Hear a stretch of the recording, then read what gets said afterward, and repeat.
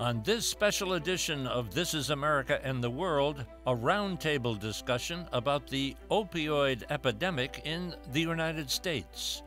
But first, Michael Botticelli, director of the White House Office of National Drug Control Policy, gives us the overview. And after the break, four doctors in conversation about prescription drug and heroin addiction and treatment.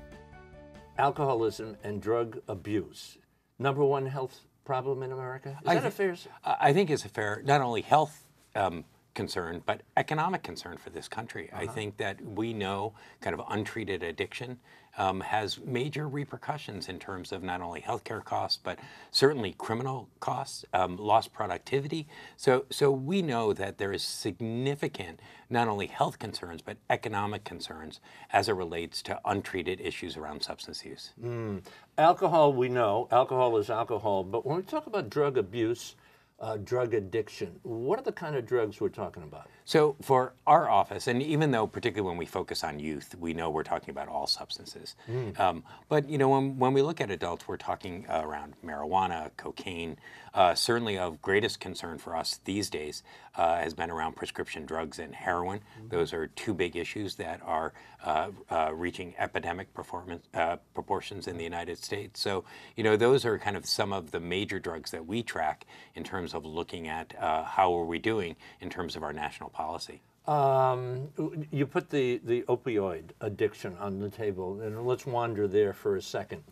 Uh, this is a tough question to ask, but when you talk about opioids, which is uh, medication for pain, right? And then you talk about heroin in the same sentence, I guess. Uh, is it because the media was focused in on these overdoses that keep happening? 23,000 deaths uh, from over- overdose. Uh, did the media catch on and it moved from uh, inner city to the suburbs, from older people to younger people? I- I think part of what's really kind of captured people's attention, and rightly so, has been the significant uh, addiction and mortality associated with with uh, both of these opioids, both prescription painkillers and heroin.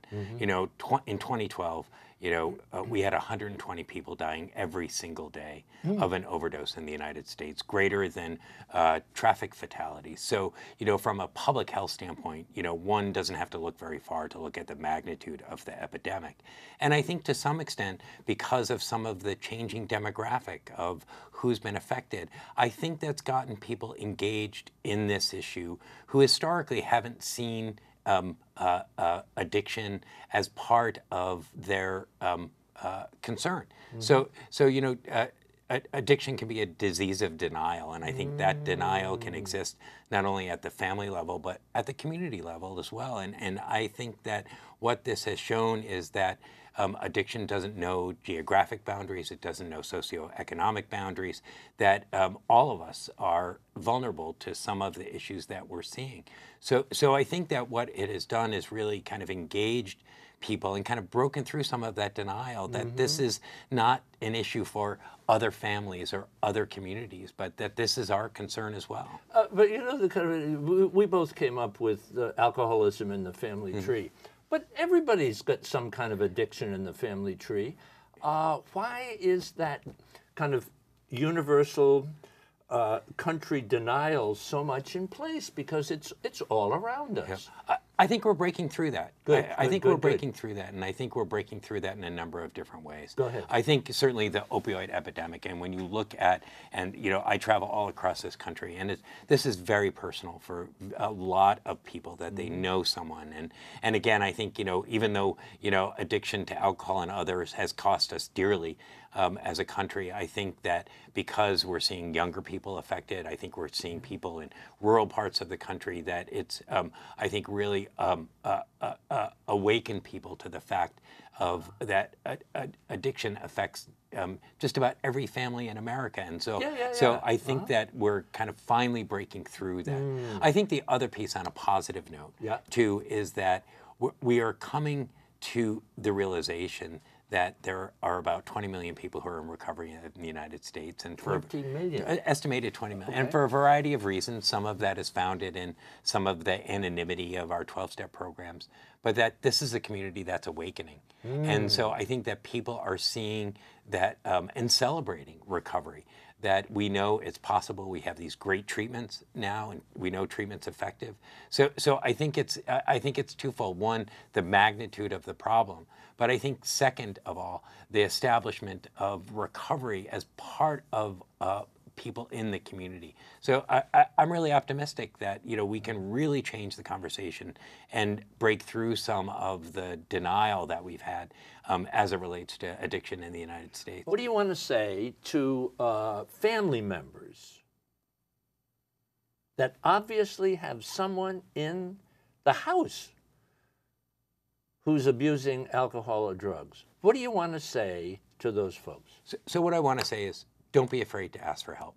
Don't don't be afraid to go to a professional um, to ask about how you do um, intervene in this situation. Don't be ashamed. You know, I, I hear time and time again family members that they think there might be a problem or suspect it, but kind of they don't want to acknowledge it. And They- that's the wor- know- They they know. know and I think the worst thing that we can do is pretend, like other diseases. Yeah. You know, the worst thing that we can do is to pretend, pretend that it's not there. So, you know, we need to um, uh, have people reach out to ask for help, to seek professional assistance, um, because there is help out there. Yeah. Um, and there are people that are willing to help, and there's um, highly effective treatment for, for this disease. Michael, we are lucky to have you at the helm. Well, and uh, I'm very lucky to have people like you to call attention to this issue. Thank you. Thank you, Michael. Thanks, Dennis. This is America and the World is brought to you by the National Education Association, the U.S. China Education Trust, and F.Y. Chang Foundation, guided by Ambassador Julia Chang Bloch, President. The League of Arab States, representing 350 million people in 22 member countries. Japan, history, hospitality, and advanced technology. Sharing tomorrow. Tourism, Malaysia. The Petrolin Group, expertise with integrity in the fields of oil and gas, exploration and production, energy, and infrastructure. The Rotendaro Family Trust. The Embassy Series, uniting people through musical diplomacy, presenting international artists in diplomatic settings. And Ventana Productions, television facilities, editing, and distribution services. Dr. Baxter, as we were coming on the air, you were saying that in New Jersey, where, where you're uh, coming down from, thank you very much for coming down, uh, that the governor knows somebody who maybe has a, uh, an addiction problem, and that changes the whole complexion of how politicians look at addictions, huh? Absolutely. And uh, we find that whenever there is a champion, uh, we can get uh, more uh, done and we can have more understanding occur. The uh, governor has uh, openly uh, spoke about his relationship with a, a childhood friend, I believe, certainly college, and I understand that this individual was someone that he held very closely.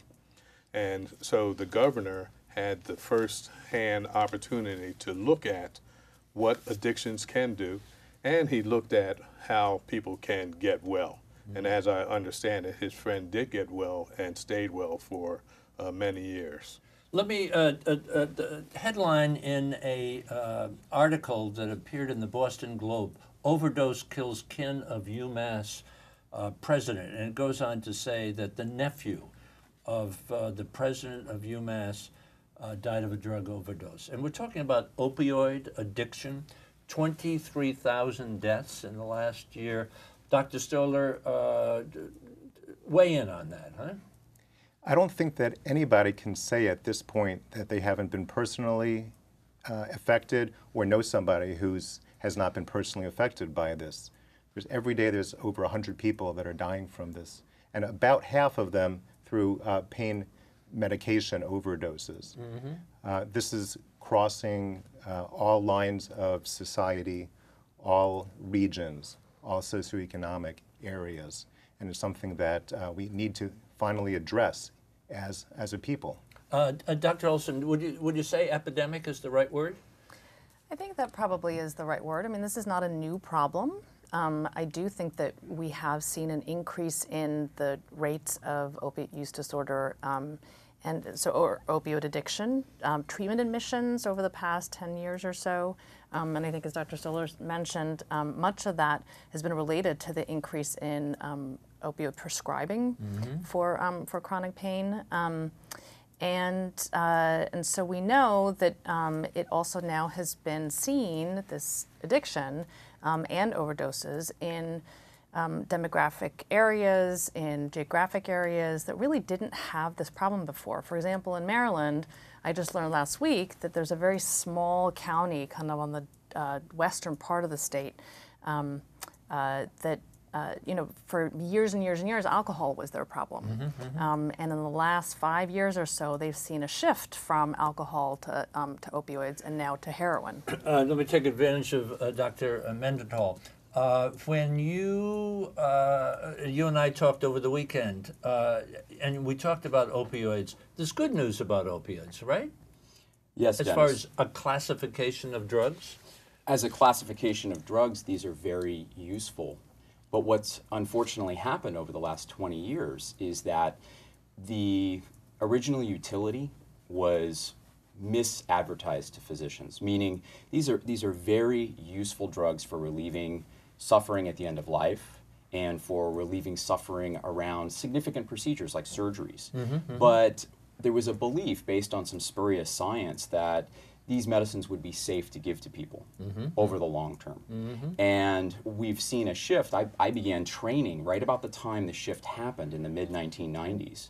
And unfortunately, it became, if you will, okay for physicians to prescribe. Then it became an expectation that physicians in primary care settings, in particular, would prescribe these medications to individuals with pain issues. And unfortunately, I would argue that our industry as a whole our profession as a whole really didn't have a good understanding of how we were changing people and how that was ultimately going to lead to societal changes that I think we're now seeing yeah. in, in the face of this epidemic. And I think, you know, I also remember being in training kind of in the 90s. How, how much training did you have when you came up uh, in, in uh, your early years in medical school? How much in addictions? Very little. Very Probably little? How, mu- how much? A couple of hours. A couple of hours, Dr. Stoller? How much? Maybe a few hours. A few hours, Dr. Baxter? I trained in the 70s, and we only talked about alcohol during uh, pathology. But, uh, and, and, and, and, and, and Dr. Mendenhall? Then it's three hours. Three hours. No more than three hours. That was it. So that mm-hmm. was the training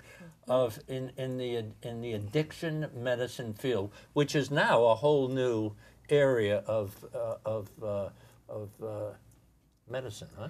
Is that a and, fair statement to say? Go and ahead. Dennis, it's getting better. That's the good news. Yeah. So this week, actually starting tomorrow at Johns Hopkins, there is a three-day intensive course for all of the second year medical students. And we'll be bringing in actually 30 or 40 patients from my program so that they can learn how to take a good substance use history and how to uh, interact with people with these issues in a way that's respectful, in a way that encourages people to talk about their problems. Okay, so we, we've established that, that the, the opioids are good, good medicine in certain situations. The doctors are prescribing them, uh, well intentioned, I'm sure.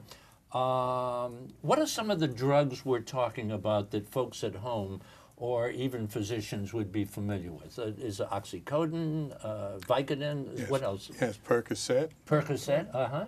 So, so these are regularly prescribed drugs. You know, one of the things that I've learned through um, my mentorship uh, and, and from my patients is that probably the most important warning for patients and families is that if this medicine makes you feel better than this medicine really should, Hmm. I want you to pay attention. Mm-hmm. And we know that if people experience euphoria or reinforcement, we call that reward in the addictionology field, mm-hmm. then we know that something is afoot. We know that this is a medicine that a person might move away from taking for their post-operative pain, let's say after a cesarean delivery or a hip replacement, mm-hmm. and move towards treating symptoms of anxiety or depression. So let's say we got some physicians watching this program, and I hope they do and I think they will. What, what should they be on the lookout? What are the warning signs for a physician that a patient has crossed that line that Dr. Mendenhall has just put on the table, and now they're, they're looking for something else, huh? Yes, well, even before we get to that Okay, point, I think that uh, physicians need to take time to uh, evaluate a person's family history and their own history of having problems with alcohol and other substances. Certainly, uh, there are millions of prescriptions written for opiate pain medications, but only maybe 9 uh, percent end up having problematic use.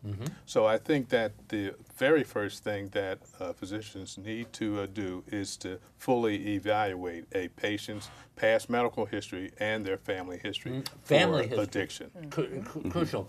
Is there some kind of a registry that doctors can go to uh, that tells what other doctors have been prescribing? Is, is that's important for the physician, isn't it? Yes, almost all the states now have a prescri- prescri- prescription drug monitoring program, a PDMP, and it is a, uh database that physicians can sign on to to find out where the patient is getting prescriptions for opiates or in some states other sorts of potentially abusable medications.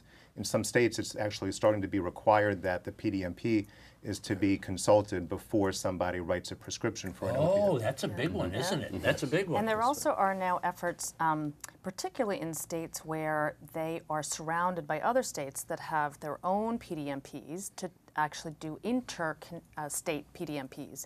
So that, so for example, if you go to, if you're in Pennsylvania and you're on the border of Pennsylvania and Maryland, you go into Maryland or you go to Delaware and get your prescription filled, that information now is actually available to physicians in Maryland or in Pennsylvania so that you really can actually, it's not just by state by state, it's almost kind of regional. Years ago, years ago, when I was in the business of uh, alcohol and, and, and drugs, and uh, I'm proud to say that I'm uh, long term uh, recovering from both, uh, I would doctor shop. That's the phrase that people use, right? Doctor shop. Uh, going to uh, somebody in Michigan as well as somebody in New York and getting more prescription. And quite often it's uh, the opioid plus some kind of a tranquilizer or anxiety medication. Is that it? Yes, that's what is uh, potentially very uh, fatal if those medications are taken in combination. So it is important that those sorts of medications would be tracked through the PDMP and elsewhere. Any other thing, doctor? Yes, Go ahead. Yes, well, I was Dr. going Doctor. to, to add that uh, uh, when we talk about opiate overdose cases, Mm-hmm. uh, very rarely are they just purely due to opiates. It's the combination of Mm-hmm. opiates and benzodiazepines and alcohol. Mm-hmm. Go ahead. Go ahead. Just, just, And that, well, as a psychiatrist, it also speaks to me in terms of the co occurring disorders, be it pain and psychiatric problems, depression, other sorts of issues like that. Those, those disorders need to be screened for and treated appropriately. do the do the drugs uh, uh, kill physical pain, or is it some kind of a reaction in the brain that blocks the pain, or how do these opioids work? So they work on, um, we're all born with uh, an innate opioid receptor system that, um, you know, we have to help modulate pain, so kind of to help us react to pain, particularly acute pain when it happens. Um, you know, unfortunately, there are some instances in which patients um, will develop kind of chronic pain, and that's where th- some of the challenges have been because chronic pain can last for several months. It doesn't have a productive purpose, um, and so the uh, the opioids that were really pushed heavily 20 years ago, that was really the population of individuals for whom the pharmaceutical companies said, "Oh, this is really fabulous," and you as a provider and as a primary care provider, you know, don't have any qualms about writing that prescription. Um, but we know that um, you know chronic pain. There are very many different neurocircuits in the brain that get affected, and that for some, people may actually be affected even before they develop the addiction. Um, and which is why some of the um, family history and the personal history is really important to know about trauma, histories of trauma.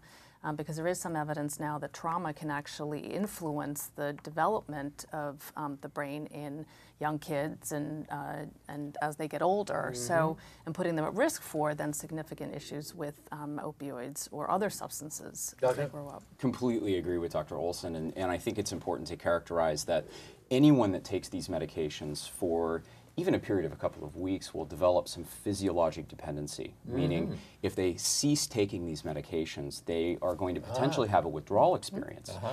Now, that, that propagates over time, and as people become more tolerant to medications, the history over the past 20 years has been physicians prescribe more and more medication, which creates an mm-hmm. exceptional amount of risk.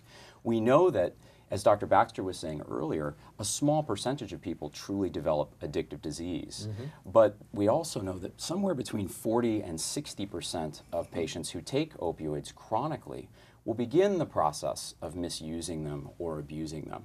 They will start down that slippery slope, and a lot of that has to do with how the receptor systems that Dr. Olson was talking about are changed over time and how the neurotransmitter dopamine is downregulated. Different receptors are downregulated, and in certain circumstances, there's evidence that the drugs themselves may cause, pardon me, neural inflammation and, and change the actual wiring of the midbrain. Uh, Dr. Stoller, when you and I were chit chatting before the program, uh, you were uh, giving some of the other warning signs that, that people should be on the lookout for, whether it's physicians, whether it's uh, patients themselves. Uh, we mentioned doctor shopping. What would be some other uh, things that you would want to add into the conversation here? Warning signals. Well, certainly if the patient is running out of their medication before they're supposed to, that would be another warning sign. Before they're supposed to. Correct. Okay, so it's legitimately prescribed, mm-hmm. but they're running, Right. they find themselves running out. Go ahead. And certainly if the medication that's being prescribed doesn't seem to be effective. And what I use for a measure of effectiveness is, is the person's functionality improving? That's what it uh-huh. has to be. Uh-huh. For a lot of chronic pain patients, it's not really um, realistic to use a pain-free state as what we're shooting for. Okay. But if the functionality is increasing, then that's good. If the person seems to not be functioning better, and certainly if they're functioning in a less functional way, then that would be a warning sign. The other thing I have to, to bring up that's very important is that um, of people who are abusing um, prescription pain medications, they get that medication uh, over half the uh, time fr- free from either a family member or a friend. So it's very important for a physician to prescribe measured doses when they do need to prescribe. Right. So somebody, so- something I read say you get a wisdom tooth out, maybe you should have um, some kind of medication for 30, uh, for three days, and the doctor writes a prescription for 30 days. Well, you're going to be off to the races if you continue to use that. Right. huh? And part of it, I think, um, is also so the American Society of Addiction Medicine um, uh, and others have really, you know, characterized addiction as, um, and people who are kind of start to develop suggestions and hints that they might be getting a problem as loss of control. So people really kind of they develop a craving, this unbelievable Okay. kind of urge that won't stop, that just kind of this compulsive need. And I think it's important for physicians as well as um, patients and family members to really understand the difference between the physical dependence um, and the addiction, because physical dependence, as um, you know, was mentioned, that um, that is an expected response and an expected adaptation of the body to um, opioids. It doesn't happen just to opioids; it happens to many different classes of medications, including benzodiazepines, steroids, um, some antidepressants so that when you do then either stop abruptly or cut the dose very significantly, people will then develop a withdrawal syndrome. The addiction is really that kind of compulsion and that craving, and I will do anything and everything and things I never imagined myself, and those behaviors that really accompany kind of that craving. So, so that's uh, that's like definition of addiction, right? Mm-hmm. A kind of a mental and physical craving or needing or wanting uh, the drug, be it alcohol or be it any right. of the drugs and then we're the talking behaviors about. that go along with it Yeah. so that you know people then also try and cut down and they can't you know uh, the whole kind of oh you can just stop using that's not realistic for somebody who has an addiction because they would love to be able to Yeah, stop Yeah, just say no is not. And how many times, Right. you know, do you say? Right. Go, You go ahead, uh, Dr. Baxter. Yeah, uh, uh, we also have to uh, uh, realize that when we're looking at this whole problem of opiate addiction and dependence, that we don't overshoot because there are real phenomenons such as the development of tolerance. So if a patient says this doesn't work well as it used to, then we should not automatically assume that they're misusing or abusing. It may actually be tolerance.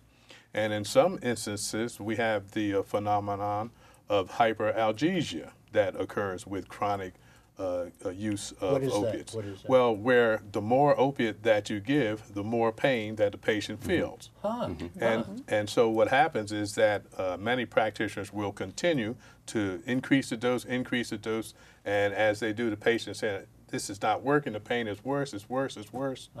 And uh, that will uh, lead for us to have difficulty in terms of managing this patient. So that so that's that's uh, that would be very sophisticated for the doctor to know what's going on there, huh? Yes, and uh, Or to make a judgment as to what's going on. yes, but to be aware that something In- is in- happening and to make that referral to an addiction medicine specialist. Uh-huh, doctor. I think it's really important uh, to recognize that for that person that has become therapeutically dependent on opioids, if they suddenly have their opioids discontinued or they run out early, they're going to look a lot like a person who has addiction mm-hmm. because they're going to have a really severe withdrawal syndrome. Now you've just put on the table. How does this thing happen? That let me ask a couple of quick mm-hmm. questions. What's the profile of somebody coming into treatment that you see? Typically somebody that has lost control over their use of medication and has become to a certain degree powerless over their compulsion and we see that in terms of behavior But They give me are- a give me a real person. Who what kind of a real person would show up in treatment? Um, let's say What- a- a, 54 year old executive. A good example would be a 54 year old executive who has had a bad back for several years from degenerative disc and facet disease, so Okay. arthritis of the back, who got started on opioids maybe five or six years ago and then has had a couple of back surgeries, but the opioids were never discontinued. And we know that unfortunately, uh, opioids themselves for chronic pain are a grade C recommendation. So recommendation. what percentage of people who are showing up in a treatment center have, uh, like in, in my day, it was pretty much alcohol, and then you kick it up uh, uh, 20 years, and it's for younger people it was alcohol and some kind of medications. Uh, but now, what percent percentage coming in for opioid addiction? Within the Betty, Hazelden Betty Ford uh, system, we've seen over the last 12 years an increase of opioid use disorders as the primary diagnosis in our The adult pa- primary diagnosis. The primary. Di- you're all shaking your head. Well, so you know, I work in a in a setting where that's really the primary diagnosis that we um, take care of. So, but but I think you know, kind of back to the other point that um, about 75% of the patients that we see also have other substance use disorders. So, opiates, alcohol, cocaine, sure. marijuana, benzodiazepines, many many. Um, uh, other psychiatric diagnoses and a lot of medical conditions. Uh, so, what's your experience? Excuse me, uh, Yeah. uh, Dr. Stoller. Uh, the people you're seeing.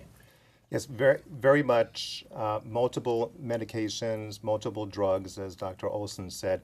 In fact, for, uh, for people who are uh, misusing prescription opiates, about they're about 40 times more likely to use heroin. And that's the other issue is that we need not only to, um, to educate Say our, that sentence again. they're more, they're about 40 times more likely to use heroin. How does a person get from the executive uh, that you mentioned uh, to ho- heroin, and how do they get there, and where do they buy it, and how do they use it, and so on and so forth? That's Well, part of, Go part of- ahead, go, you- both, Well, I both was just going to say part of it is related to what do what are physicians taught.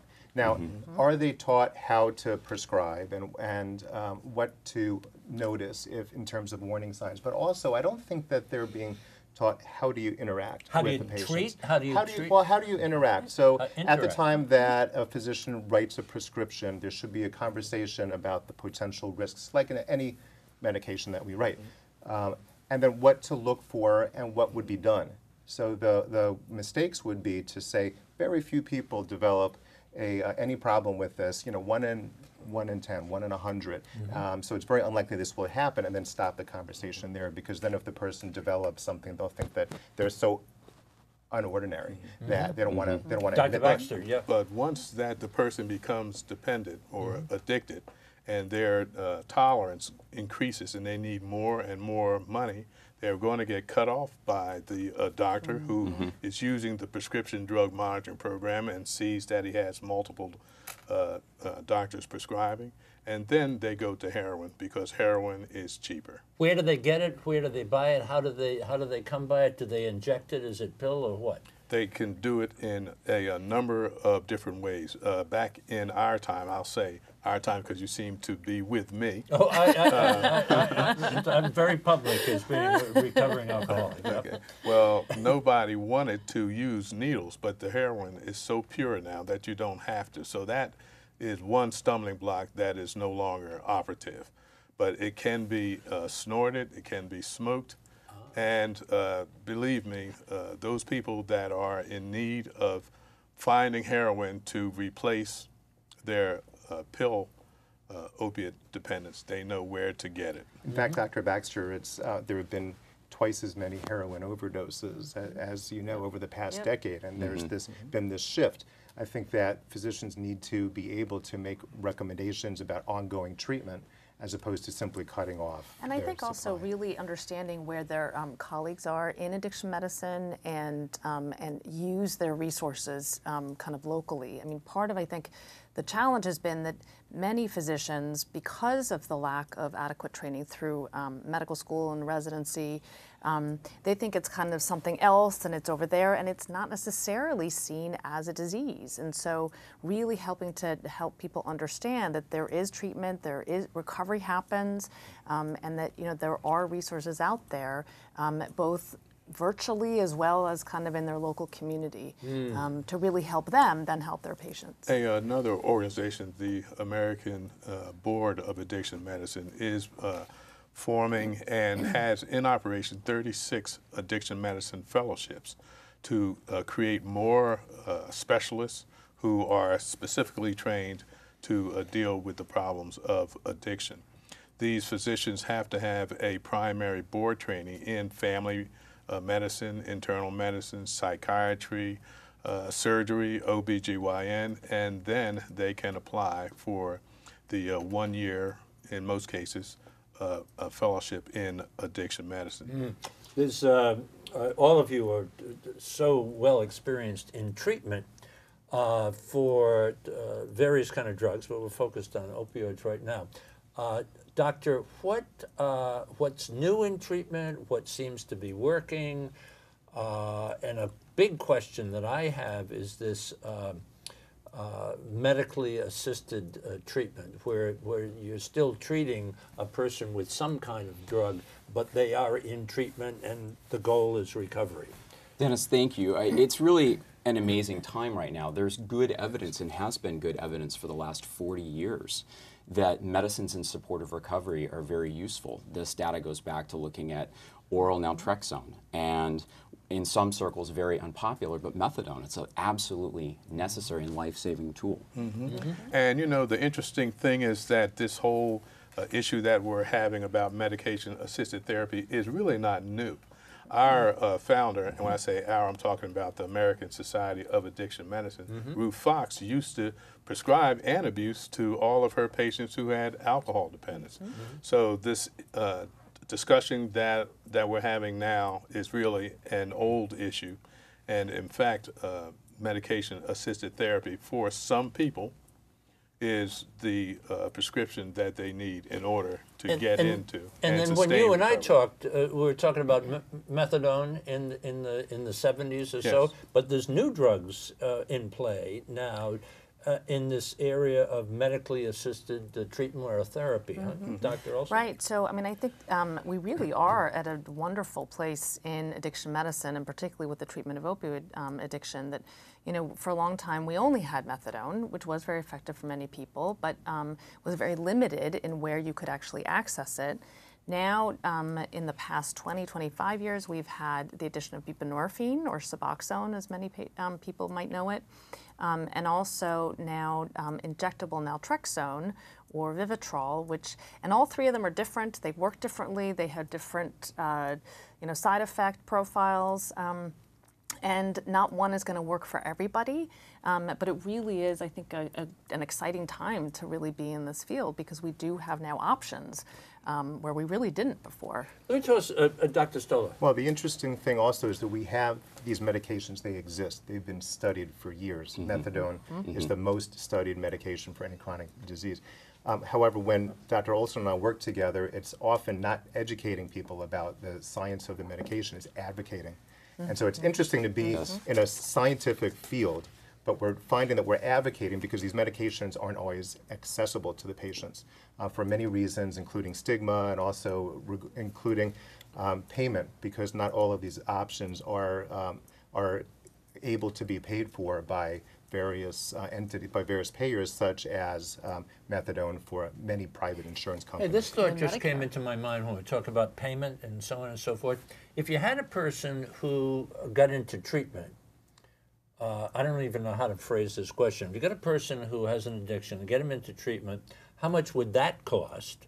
And then if they didn't get into treatment, but they lived out a life of health problems that come along with addictions, what would that cost, like mm. insurance or insurance companies? I Anybody? can tell you that uh, for many years, we, we have known and we have documentation that for every one dollar that you mm-hmm. spend in addiction mm-hmm. treatment, you save seven dollars in terms of the expenditure of the entire healthcare dollar. So, so, mm-hmm. so that one to seven, can you put that into a dollar figure? Is there any way to put that into a dollar figure? $500 billion annually relative to our health system in terms of cost of direct patient care, indirect cost of patient care, and also criminal justice and societal related expense. All of a sudden, uh, we're reading uh, articles in newspapers, we're seeing it on television, uh, on the internet, uh, radio. In a left-handed way, has this uh, opioid epidemic helped us face addictions as the number one health problem in America? I think so, and uh, it's But that's a horrible thing to say. It's a but- horrible thing to say, but the benefits that we're going to uh, reap are uh, uh, i- a long time coming, and uh, this has opened up uh, our eyes and the eyes of, of insurers, of physicians, and others that addiction is a serious medical problem. Mm-hmm, mm-hmm, mm-hmm. There's been a humanization, I think, of this when people know someone or know a family that's been directly impacted uh, by this disease, and it's really bringing about a cultural shift both within the recovery community through embracing tools like buprenorphine, naltrexone, and also within the healthcare system as a whole, seeing it as not just a necessity, but something that really, I think, speaks to the heart of why we all became physicians. You know, um, CVS has now just uh, put uh, in many, many states over the counter a drug to counteract uh, an overdose.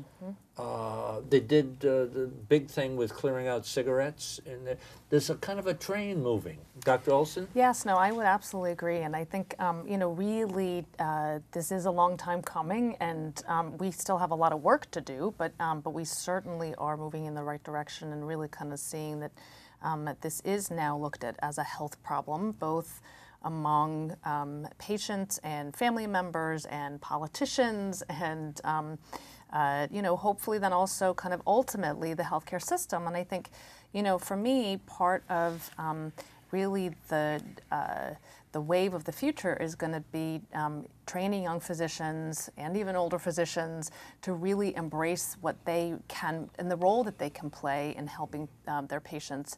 Because a lot of times you know they feel very hamstrung and um, don't really know what to do don't really know um, how to address these different issues. I, I did an unpublished survey of um, uh, kind of primary care physicians and other um, uh, physician specialties in maryland and um, around their willingness to prescribe buprenorphine for the treatment of opioid addiction. And one of the biggest things that came out of that was, and the most significant predictor, was having had a positive experience taking care of someone with an opiate use disorder. Um, and so I think for all of us who are, you know, practicing this every day, really helping uh, you know, educate our colleagues and um, and kind of showing that this can be an unbelievably rewarding profession. Um, and when you see people who have been, you know, really severely ill and struggling, and when they kind of, you know, start to make those uh, those pro- that progress kind of towards recovery, um, it is so unbelievably rewarding. I mean, I can't even imagine. You know, it doesn't happen kind of I think in any area of medicine. And this is where stepping up, for if you're a comprehensive opioid treatment program or other comprehensive drug abuse treatment program, there's not only the availability of educating primary care providers, but also partnering with them. So we've been doing a lot of that work at Johns Hopkins to partner between our OTP that uh, that can give methadone if needed, but also give other medications, including naltrexone or buprenorphine, and then partnering in treatment, providing some case management, counseling services while we have primary care providers. So am I getting the, the drift here that, and, and, and well-intentioned uh, doctors, physicians are, are writing the prescriptions for the opioids, uh, but uh, when they even spot that a person has developed uh, uh, uh, a, a use, then an abuse of these, that they don't know how to treat them? Is that, is that something that's in the cards? Go ahead. That's Doctor. correct, Dennis. I think, unfortunately, and this was mentioned earlier They by know how to prescribe, but they don't know how to treat. Yes, Okay, exactly. go And- ahead. And Dr. Baxter and Dr. Stoller both address this, uh, and it really what we're looking at is the most important opportunity to intervene in the life of that patient at that time is oftentimes lost. A lot of physicians become fearful, they dehumanize the patient, and they kick them out of the office. When in reality, when we're talking about an integrative, longitudinal process of caring for patients, they would have the support of knowing exactly who to send to. Why are physicians, and you are collectively answering, why are physicians afraid to, or are they, I should put it that way, are they afraid to confront uh, their patients on their alcohol use, their drug use, and so on and so forth? Yeah, I mean, I think- everybody jump in. Right. on I mean, I think part of it is that you know they're not um, they're not necessarily trained well on um, how to effectively do that. I mean, there are now kind of screening and brief intervention and referral to treatment um, initiatives through the federal government that you know can help, um, and there are screening tools. Um, I think physicians really have um, struggled on what do they do with the answers and Yes. Ah, conflict yeah. avoidant. and, and there's still this fundamental uh, difficulty that we're having that physicians oftentimes feel that if they talk about drugs or alcohol to their patient, that they're condemning them in some form or fashion. the doctors The feel doctors that? feel The that, doctors and that's feel why that. they will not ask those questions because they don't want to offend the patient. They don't want to offend the patient. What we're hoping to have happen is that we can uh, get everyone to understand that addiction is a disease just like any other. I'm so Yep. glad you put it on the And table. once that you have that thought, then it's no problem when you're asking, uh, do you exercise? Uh, do you smoke? Uh, do you use marijuana? Uh, do you drink? It all falls in to the general flow of uh, questions. But doctor, let me ask you this question because we kind of uh, when somebody would ask that of me when I was drinking, and they would say, uh, "Well, do you drink?" And I said, "Yeah." Well, well, there's a, a couple of beers, you know. S- But they're always going to say a couple of beers. Mm-hmm. Absolutely. The, the, the good al- uh, uh, uh, alcoholic is always going to lie right. and beat you every single time. That's true. So, so how do you get by that? Yeah, but see, once that you put the question on the table, Uh-huh. and as as you continue to follow through with this individual, you'll be able to add more pieces to the uh, puzzle. More questions, huh? Right, and primary care, I think, is. You were laughing when uh, well, Dr. because- Baxter and I were yeah, talking well, about because this. you know, I think Because I'll lie. I mean, I yeah, would yeah. lie. But here's the thing: so, as a primary care physician, primary care physicians are in such a fabulous place to actually be able to do this because they get to know their patients as people on Uh-huh. a long-term basis, and you know, so it might be that yes, maybe they don't, you know, kind of see it this visit. But maybe they'll Ah. see it kind of at the next visit Uh-huh. or thereafter. And um, if there are then also um, other signs or other information that they um, you know can glean from family members, I mean, primary care physicians really are in such a fabulous um, place to be able to identify and then start to intervene and express concern. Let me let me toss this up.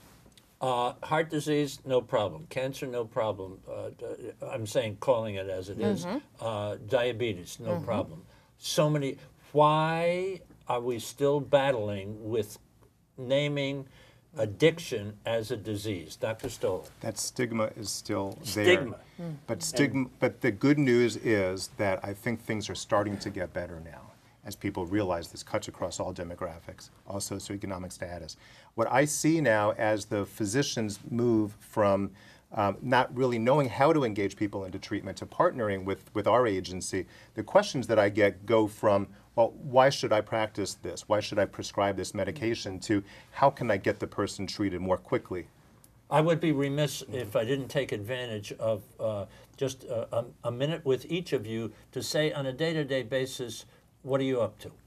So I see patients part-time um, in a comprehensive outpatient substance use treatment program um, where we also do some uh, care coordination, case management, health promotion. Um, we're very recovery focused, so we really, um, you know, help to uh, uh, have people achieve and sustain their recovery. And then I do a lot of advocacy. And Dr. Stoller, on a day to day basis. I'm the director of the outpatient drug abuse treatment program at Johns Hopkins Hospital. We get people with uh, very severe substance use disorders as well as other chronic medical and psychiatric conditions coming in through the hospital, often homeless or not living in a place that's consistent with recovery. And then we provide them with, uh, with addiction treatment in addition to wraparound services such as housing, psychiatric care, and so forth. I also do a lot of, ha- of advocacy as well, working with Dr. Olsen and others uh, on a state and national level. Uh, uh, uh, Dr. Baxter. Yes, I'm the uh, president and CEO of the Professional Assistance Program of New Jersey. And what we do is that we manage addiction issues, psychiatric, and other behavioral problems for all licensed healthcare professionals in New Jersey. Uh-huh. And, uh, and I also have a, a private addiction practice where I actually see regular patients on a, uh, on a, uh daily basis. Uh-huh. Dr. Mendenhall. Dennis, I'm a full-time clinician and I support the Hazelden Betty Ford Comprehensive Opioid Response in the 12 Steps, where I work in an outpatient longitudinal setting and we utilize 12-step based recovery with the supportive medications in patients with opioid use disorders, things like naltrexone and buprenorphine. And I take care of patients once they've stepped down from a residential treatment in, environment, and we take care of those patients over, over a longer period of time. You're, you've come to us, and, and thank you for flying in from, uh, from Oregon. Oregon you. is one of the states where recreational marijuana is permitted. Is that true? recreational cannabis was legalized by the state back in 2014. What do you think about that? I'm worried about that. I'm really worried about that. There's uh, an argument that the demographic of people using marijuana probably isn't going to shift that much. My concern is that with the commercialization and the very, very high potency strains that we're starting to see, Ah, yes, we- that's huge in our area here. We've, we've seen dramatic increases in terms of psychotic episodes, patients being admitted to the emergency room for acute cannabis intoxication, and unfortunately, an uptick in terms of residential admissions for the treatment of cannabis use disorders. Wow. Uh, is it a slippery slope? What, what's your I think we're thinking? giving a very mixed message, uh, you know, to particularly to our young people who really are the ones that I worry about uh, with, you know, um, cannabis and kind of expanding access to cannabis because even if it's regulated and, you know, uh, there's an, an age cutoff, that you know it's the same as with alcohol and we don't really have enough information i think from states that where this has actually um, you know uh, these policies have taken place and, um, and been implemented.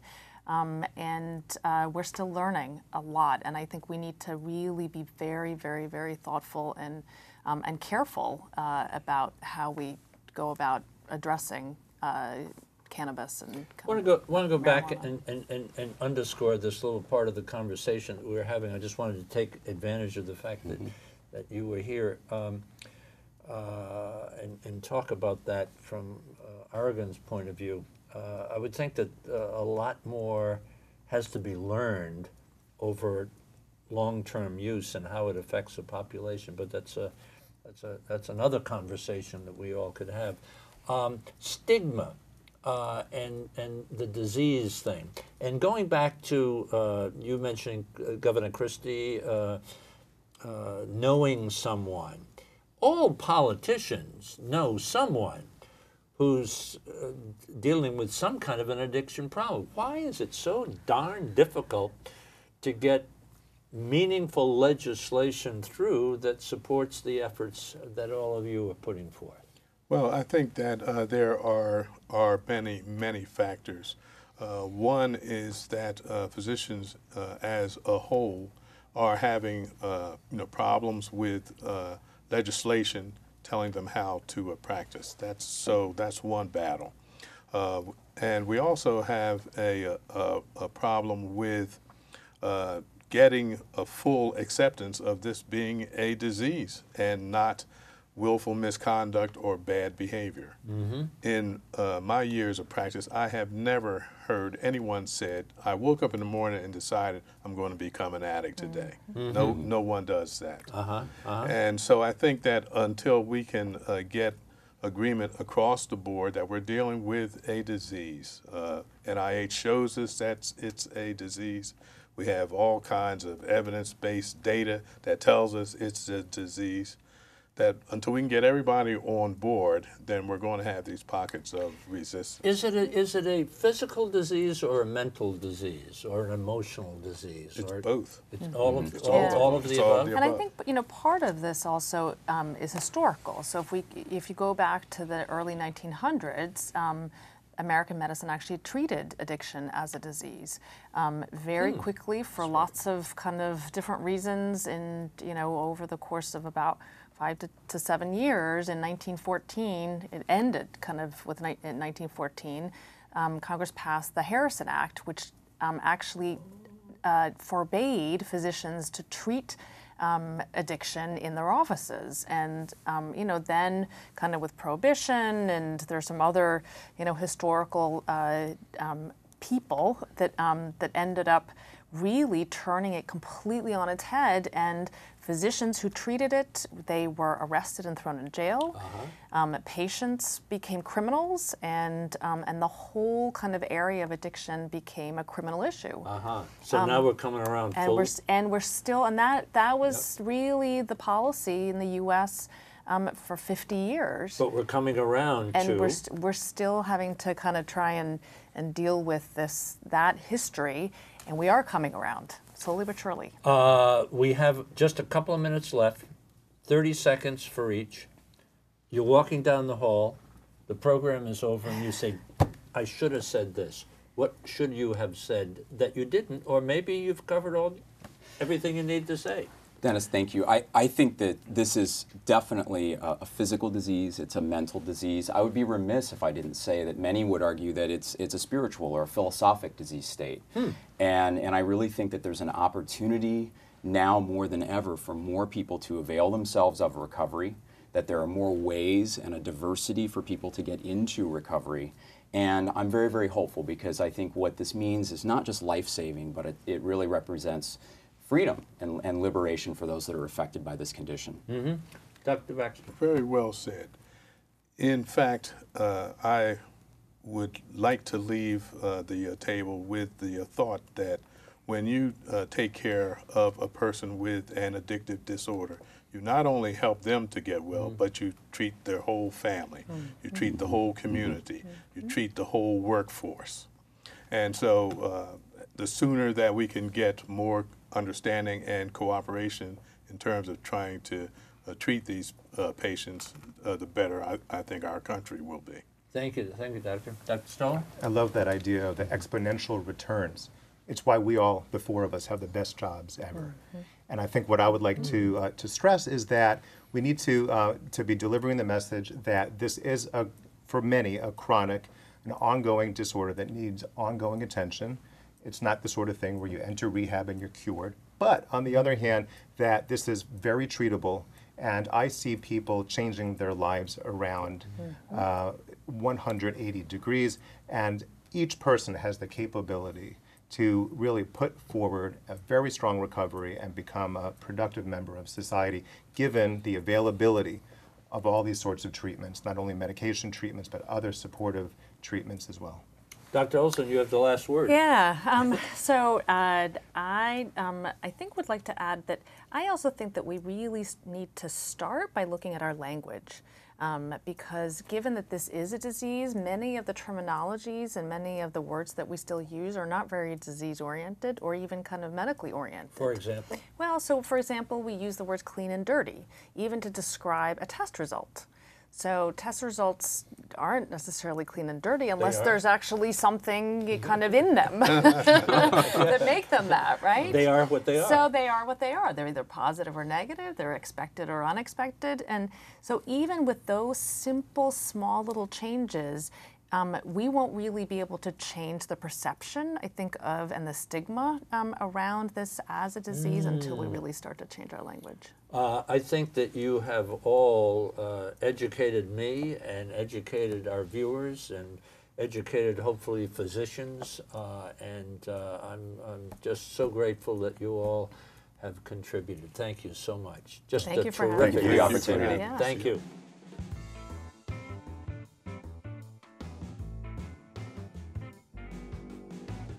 For immediate help or more information, call this national helpline 1 800 662 HELP. 1 800 662 4357. For information about This Is America and the World and to watch all of our programs, visit our website thisisamerica.net and look for us on Facebook and Twitter. This is America and the World is brought to you by the National Education Association, the U.S. China Education Trust, and F.Y. Chang Foundation, guided by Ambassador Julia Chang Bloch, President. The League of Arab States, representing 350 million people in 22 member countries. Japan, history, hospitality, and advanced technology. Sharing tomorrow. Tourism Malaysia.